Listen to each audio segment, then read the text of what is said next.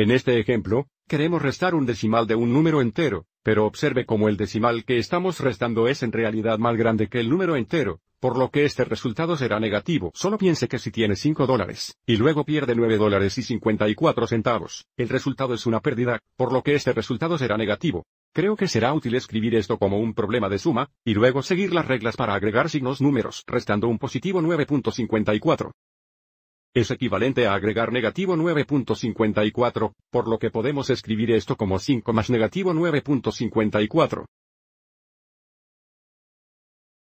Y al sumar números con signos diferentes, la regla es restar los valores absolutos, y restamos el valor absoluto más pequeño del valor absoluto más grande, y luego usamos el signo del número con el mayor valor absoluto. Pero realmente podemos ver aquí que lo negativo va a superar a lo positivo, por lo que la suma será negativa, y luego encontrar ese número negativo. Lo que haremos es restar los valores absolutos. El valor absoluto mayor será el valor absoluto de 9.54 negativo que sería positivo 9.54. Y luego restaremos el valor absoluto de 5, que sería solo 5. Entonces, alineando los valores posicionales a los 5 iríamos aquí tendríamos un punto decimal aquí, y si queremos podemos agregar ceros a la derecha del punto decimal. Entonces 5.00 es igual a 5.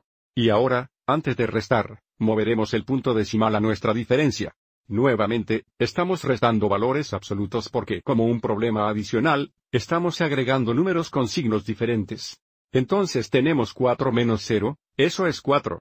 5 menos 0 es 5.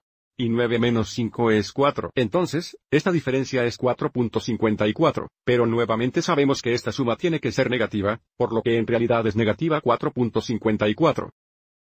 Ahora, en este ejemplo, creo que vale la pena echarle un vistazo a esto en la recta numérica. Entonces, si fuéramos a modelar 5 positivos, comenzaríamos en 0 y avanzaríamos 5 unidades hacia la derecha. Pero entonces si queremos restar 9.54 o agregar negativo 9.54, en realidad nos moveríamos a la izquierda 9.54 unidades.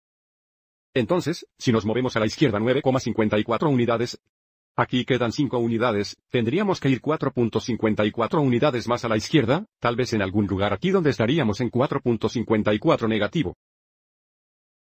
Entonces esta distancia aquí.